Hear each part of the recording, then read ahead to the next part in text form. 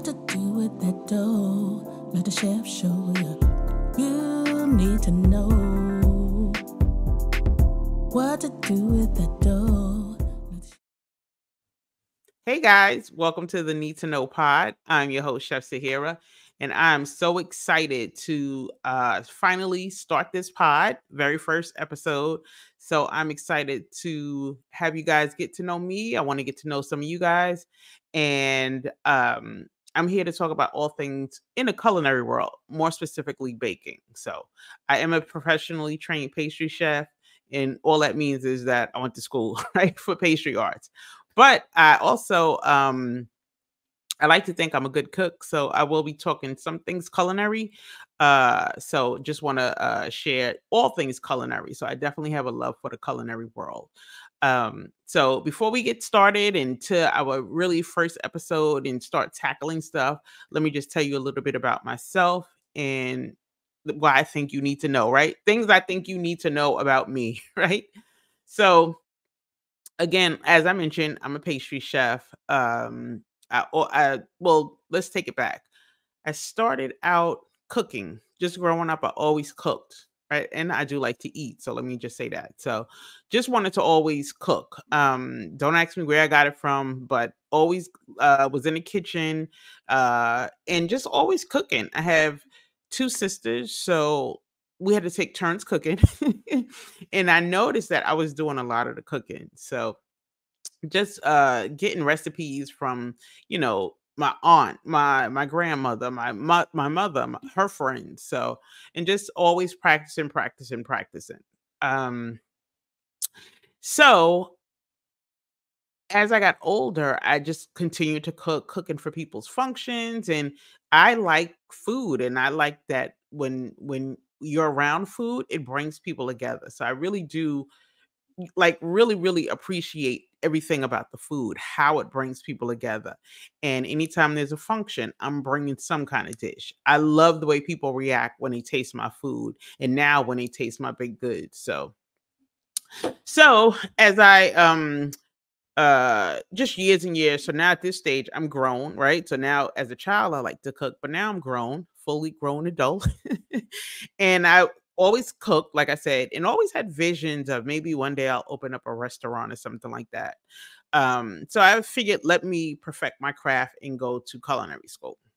Well, the first attempt, uh, just looking into it, it wasn't the right time for me. It wasn't the right time. So uh, you know, we had the explosion of the Food Network when I was a young girl. Food Network wasn't out, of course, but now that they have the Food Network, um, so all these shows are coming on, and as time went by, they had better shows, right?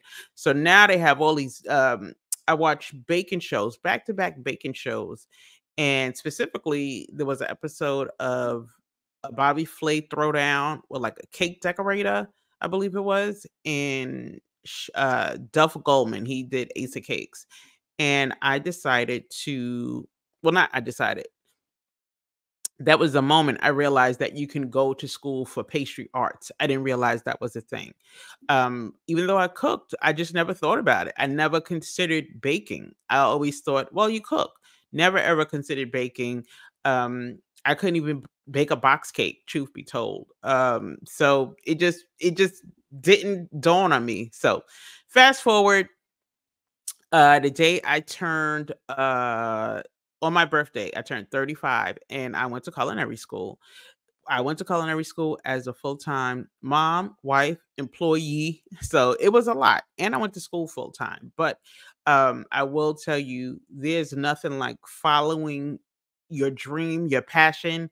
Because when I walked in that door of the the culinary school, and just so you know, I went to the Art Institute of New York. It was formerly the New York Restaurant School here in New York City. Now I believe uh um that building has the I feel like it's the Jackie Robinson Museum, if I'm not mistaken, but nonetheless, went to culinary school and just I was so amazed. First, I was amazed at how many young people were in there, but I went to school at night because I was working during the day, and there was a, it was people my age at night. for people my age there at night going to culinary school. So, but nonetheless, just seeing all the big equipment and com- the commercial equipment like you only see on TV or so it just was a dream come true for me. I never missed not one day uh going to school. I I practiced the things that I learned and it was it was so much information and like so many eye-opening moments that I just I just fell in love with it. I fell in love with it. So while I was in culinary school, I continued to practice, practice, practice. Whatever we learned in school, I would come home and practice.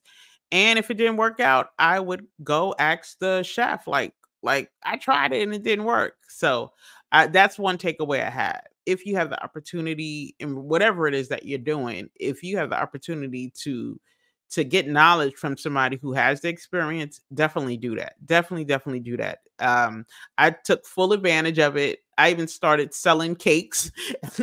I even started selling cakes while I was in culinary school, just practicing, honing my skill. Um, so let's fast forward to graduated i'm still working and just was honing my skill at home at home in my in my kitchen and my husband built a uh my kitchen for me down in the basement. He built out a kitchen for me in the basement and i just was practicing practicing practicing still selling cakes you know and i had a function come up uh here in new york city it's called the circle of sisters. Now it's changed quite a bit but it was a uh, two day event um, over the weekend, and just so many people were going to turn it out. So so many people. So I made a decision right there. Like I'm I'm going to do this event. I'm going to have all these baked goods because one thing that I'm a I am extremely passionate about is showcasing different desserts that I didn't know existed. In school, I was making things that I know people in my community would never taste, ever taste, you know. Um or just not accessible because it's not in our community, right? Um, and just something as simple as macaroons. I'm not saying our people don't know what macaroons are, but I just know that you can't just walk down the block and get a macaroon. Uh, and I'm not talking about a macaroon that's sold in like a big box store, but I um I would say rugula. And as I would make these these uh pastries in school, I would bring them home to my family, of course. But as as I was traveling from school, I also worked in the subway system. So as I would uh, get on the train and and go home, and I would see the different clerks, it was just so much stuff every day. I would give out the stuff. So people started um, telling me how good this stuff was. So like rugula was something that I made that got a really really good response. So that was one of my um, items that I was known for was my rugula. Um, and I had never heard of rugula before. I didn't know what it was. And just so you know, it's a it's a Jewish pastry with a fruit filling. So started making rugula, just just so many different things. So I knew these are the kind of items I wanted to bring to this big event held at the Javits Center here in New York City. So did that the the turnout was amazing. I, I employed my friends. I had a team. We was at that table, and we really, really like it was so successful. And that was the first time that I realized that I could make um, really good money selling baked goods. but so I did that three years in a row. Um, and you know, in 2016, I decided that I wanted to have a pastry shop and that's what I did. I opened up a pastry shop here in, uh, more specifically Staten Island, and um, that's a whole nother podcast in itself about the experiences being the only person selling um, gourmet coffee uh, as well as gourmet pastries. And if you know anything about Staten Island, you know that it's it has its challenges. it has its challenges. Um, I will say Staten Island is the only borough that uh uh Trump won. Yeah, so just put that together. So Staten Island was interesting, but nonetheless, I I I I love the experience. Out, no regrets, no regrets. So had my shop for four years. Um, met so many wonderful people, and the pandemic hit, and I opted to pivot from having a brick and mortar to doing it online to becoming a um, online baking instructor to having a baking membership. So, and just things that I learned along the way is what I feel like people need to know, right? And just my experience as a shop owner, things that I felt like the average person doesn't know. Um, having having an online community of bakers who, you know, if you ask people, I don't want to say everybody thinks they could bake, but I ran into a lot of people who who like to bake or bake on the side and there's some basic fundamental information that they didn't have or i just feel like when you have a little better insight on why you do certain things not just in baking it that's how i that's how i learn you got to explain to me why are we doing this? So that's why I, I feel like need to know what do you need to know about baking what do you need to know about um uh like the culinary world what do you need to know about food safety so these are some of the things that I'll tackle. And I may tell you something you may feel like you don't need to know, but I, I may still want to tell you. But so that's that's what made me think of this podcast. And I've been wanting to get it out, you know, for some time now. But now, you know, sometimes you need time to get more clarity. So I'm clear uh on just just getting that message out. And also, I want people to know that bacon is a a skill, right? If you need a few dollars, you may want to bake a cake or two, right? But if you right, it it's definitely a a a a, a viable skill that you can take with you anywhere. You can take with you anywhere. Um so I'm just it nobody could ever take that from me. I'm not saying you have to go to culinary school, but if you learn some things um some basic stuff, I think that you you'll do fine in in the baking world and baking can be intimidating. Baking definitely can be intimidating, but um, I know specifically I never worked with yeast before I went to school. I just felt like there's no way I could ever work with some kind of yeasted product. But once you understand yeast, now now just get, give me the recipe. Give me the recipe and and there's nothing that I won't be able to work with when it comes to yeast. Um, I, there's some things that I probably choose not to work with because some things are difficult to bake because or make, I should say, because of the the um how intricate it is you know the different steps that are involved right it may not just be mix one with two and and voila no some things are very um uh intricate when it comes to making so uh you need to know what to do with that dough. Let the chef show you. You need to know what to do with that dough. So yeah, so that's what the knead to know pod is. That's how it is. It's me just telling you the things I feel like you need to know. and also, so you know, moving forward um in uh the upcoming episodes, know that I want to take some questions from you guys. So send in some baking questions. Um, you can leave it in the comments, uh, as well as also on our social media platform as well. But also, uh, if you have recipes that you struggle with, this is something that I'm kind of passionate about that people are able to put up recipes like just all willy nilly. and some of the recipes aren't good at all. Uh, one of my clients, uh, we were trying to cost out one of her recipes. And when I took a look at the recipe, just the whole process was like insane. Like I couldn't understand where'd you get this recipe from? But if you just know, like I'm baking something I learned how to bake when I was a child, then that's fine. But sometimes once you understand like the technical aspect of it or what's right about it or what's wrong or what method to use, I feel like you'll make better decisions when it comes to using a recipe online. I definitely use recipes online, um, but I know how to decipher a good one from one that's not so good, as well as I'll combine two recipes. I'll take something that's good about one with another one that looks like, you know, that has some good qualities and make it my own. So um so yeah that's that so definitely uh i want to do like a recipe analysis so if there's a recipe that you're struggling with send it in to me i can probably tell you like what I feel like you might be doing wrong, I'll definitely give you some feedback on that. So that's what I'm looking forward to. as well as giving you some um, food safety tips. Food safety tips. I think that is so important because I definitely believe that food can should be safe for all, and sometimes it's not.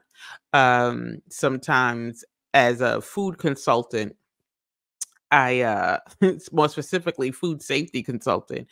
Um, it it just it just I am so incensed that some of these food businesses are food establishments are able to continue to to to have their doors open and they have C ratings. Um, I don't know about you, but I know I I don't want to eat in a restaurant that has a C rating. But I actually, and this is public knowledge, I can look at the the their rating and determine why. It's one thing if maybe um I don't know, maybe uh you didn't have really there's no reason. It's like certain basic stuff. I'm trying to think of a reason why how I would eat at a C rating. Um and I wouldn't. But what I'm seeing in places just here in New York, what I'm seeing is of course, uh, you know, it's expected that some of these places have rodents, right? But you can't be infested. You can't be infested. Um, you have to keep your food at certain temperatures. So all of those things. So we'll get into that um during our food safety uh um segment as well. But yeah, so that's just that's why I feel like that's important to put in there because I want you guys to be safe when you're out eating at these different locations. So with that said, I just wanted to um get into, you know, that's what you need to know about Sahera for now. And as time goes on, I will definitely tell you more. When it pops up, like, oh, maybe you need to know that. So with that being said, let's jump into what I think is really, really important here. And it's the essential tools. It's the essential tools. Okay, now let's get into some stuff that I really, the first thing I really, really think you need to know, or the second, right? You need to know who I am. You got that. So now let's talk about the tools, the essential baking tools. And I think the tools are really, really important because um, I know growing up, uh, and things have changed. So, you know, I don't I hate to keep referencing, you know, when I grew up, but you know, you go on those experiences. I didn't have all the baking tools. I think there's so many people I know now that don't have essential baking tools because they maybe they don't think about baking. But if it's something that you're interested in, if it's a skill that you definitely want to learn, just some basic tools because if you have the right tools, it could be the difference between how your baked good turns out. So, these are just some basic tools. I'm just going to go over the basic things to get you started right away. If you want to make a muffin, like th- you can you can make a muffin with the stuff I'm going to tell you. So just some basic tools. Know that um, when you start specializing, like in cookie decorating or cake decorating, those are totally different tools that are required, very separate from from uh the tools I'm going to go over now. So if you want to know more about that, let me know and I could definitely go over them, but very different tools. So this is just going to be able to get you started um and and allow you to practice and perfect that skill. So let's get started.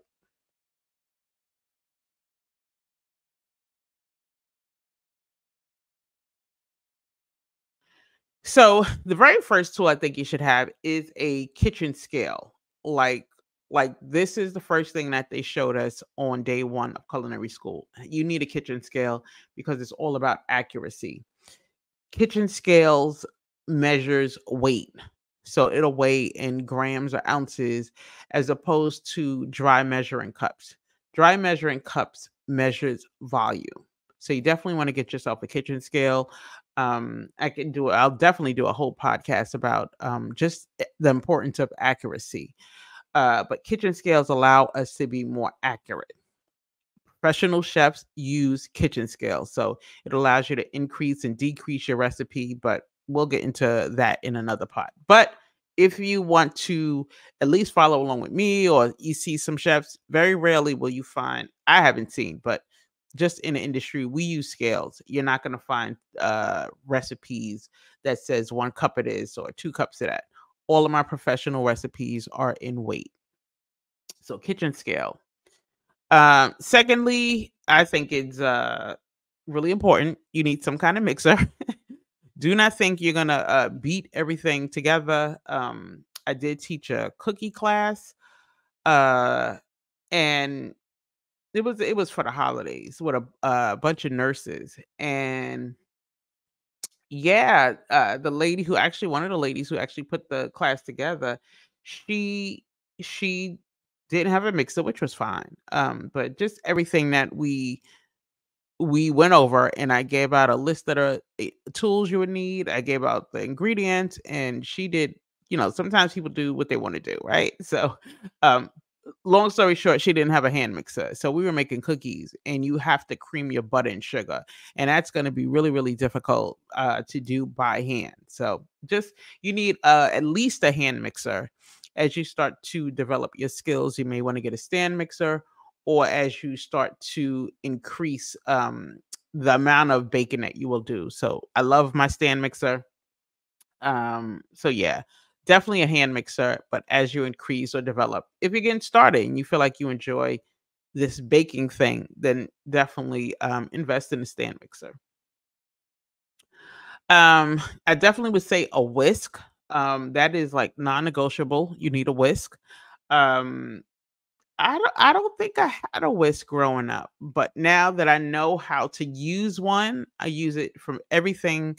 Of course, we use it to incorporate air into our eggs or our heavy cream. Um, or just, you know, blend items together. You can beat your eggs with it. Um, but also it, it's great for gravies or, you know, just just cooking, non-bacon related stuff, but just cooking it smooths things out. Um, I always use it for a gravy. I always use it. You know, um, I, li- I like some grits now. So, uh, it, if you want some lump-free grits, get yourself a whisk. Um, what else do we have? Of course, we have our measuring spoons and measuring cups. Measuring spoons is one thing. You definitely need measuring spoons. Uh, growing up, I I didn't have measuring spoons. I know that for a fact. I know that to me, a teaspoon was the small spoon in a drawer, uh, and a tablespoon was the bigger spoon, right? Of course, there's so many different size spoon sizes. Um, I just didn't think about it. Uh, I know specifically a recipe, uh, my mother's cornbread recipe that I still use to this day, but it's I, I feel like it called for two teaspoons. I know I was putting too much baking soda in it. I know that for a fact because it's just it's just not the same. So definitely get some measuring spoons. Um now the measuring cups, even though I know I said you should have a scale, measuring cups are good also.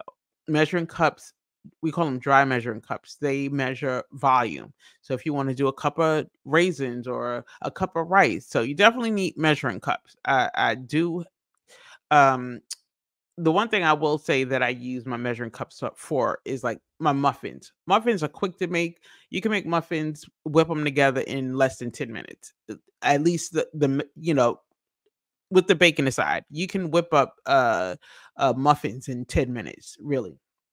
But so you definitely need a dry uh dry measuring cups.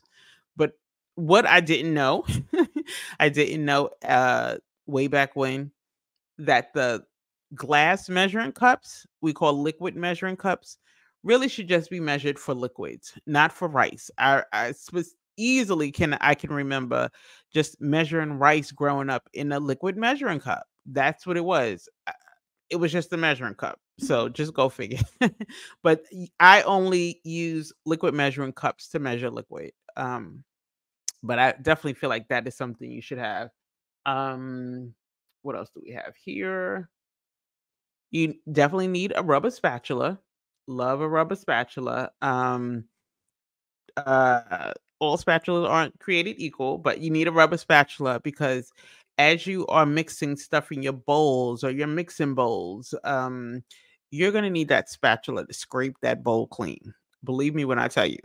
Uh, when I thought of spatulas, I thought of the spatula you turn pancakes with. Um, so no, uh, you need a rubber spatula, and I'll definitely insert the a picture of that so you can um also i want to say you want to get a heat proof spatula because as you're mixing this stuff you want your your your spatula to be able to stand up against that heat um so i heat up stuff like uh well, I wouldn't use it for like uh sugar or syrups or anything like that. But I just know when when stuff is really hot, I find like the cheaper brand um tends to like uh not hold up to the heating process and it starts to break off at the ends.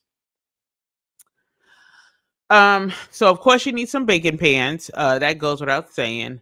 I definitely would recommend starting off with one size if you are new to baking, maybe like a seven inch if you're not going to bake a big cake, or between seven and nine. I do have seven, eight, and nine. I actually have more than that, but what I will su- suggest is if you want to learn how to bake cakes, you need at least two of each. I make three layer cakes, so I have three of each. So I have sets of seven inch pans, sets of eight inch pans, um, because I need to bake them all at once, not one cake at a time. So a lot of recipes you'll see, they'll say, you know, two pans, but I like a three layer cake, so I have sets of three. But whatever size you're gonna get, just get a set of that pan.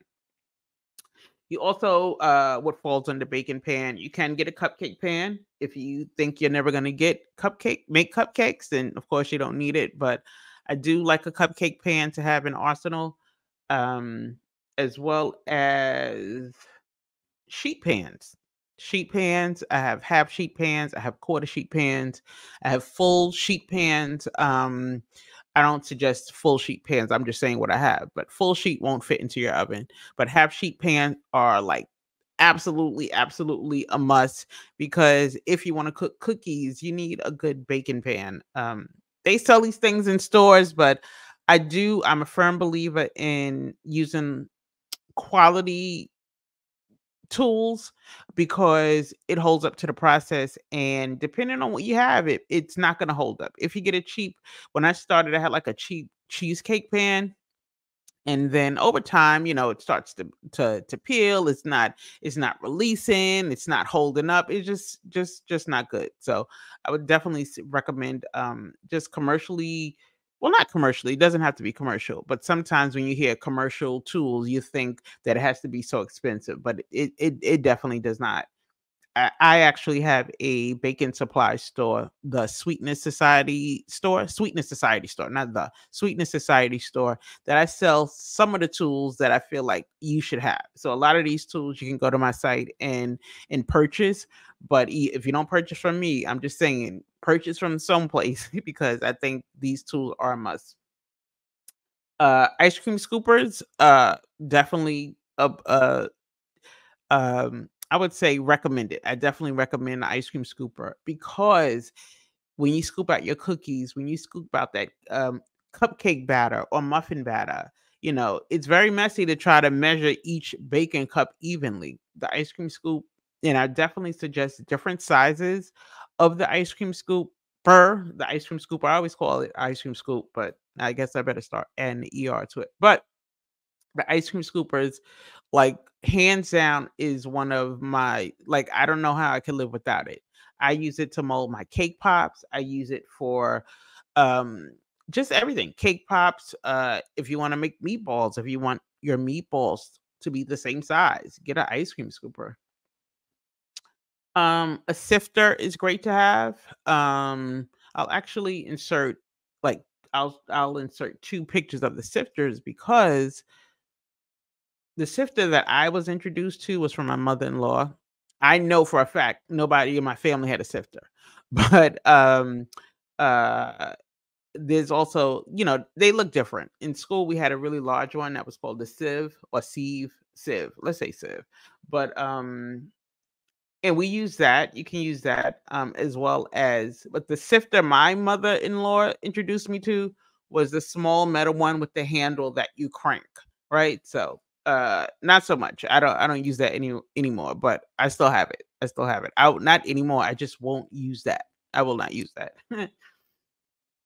um, and I think this list I have in front of me has eight. I'm sure there's like more. I know I'm, I feel like I'm missing something, but when I think of it, I'll definitely uh go back maybe in, in next uh, in the next episode and show you. But lastly, I highly recommend uh bakers use parchment paper. Parchment paper is like hands down to me is not optional. Actually none of these tools are optional, but parchment paper is a must. It's not a tool, but it is um I'm going to call it a requirement.